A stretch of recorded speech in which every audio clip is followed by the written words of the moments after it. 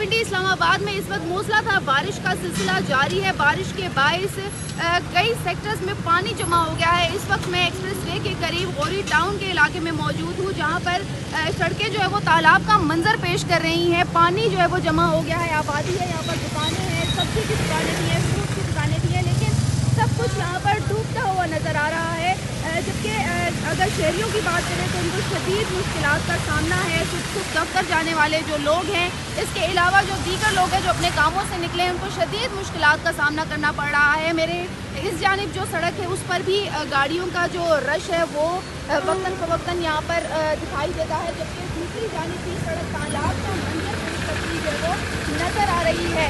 जब भी बारिश होती है तो इस्लामाबाद और रावलपिंडी के मुताद सेक्टर जो है वो पानी में डूब डूब डूब जाते हैं और तालाब का सा मंजर पेश करने लगते हैं। इस वक्त भी बारिश का सिलसिला जारी है। जबकि महकमा मौसमियात ने पेश गोई की है कि मज़ीद तेज़ बारिश भी शाम तक जो है वो मुतव है। ये मानसून की बारिशें हैं जो कि जारी रहेंगी। ताहम कल भी बारिश का इम्कान है। तेज़ बारिश होगी गरज चमक के साथ, जबकि इस वक्त जो है वो मुतद सड़कों पर पानी हमें दिखाई दे रहा है और शहरीों को शदीद मुश्किल का सामना है।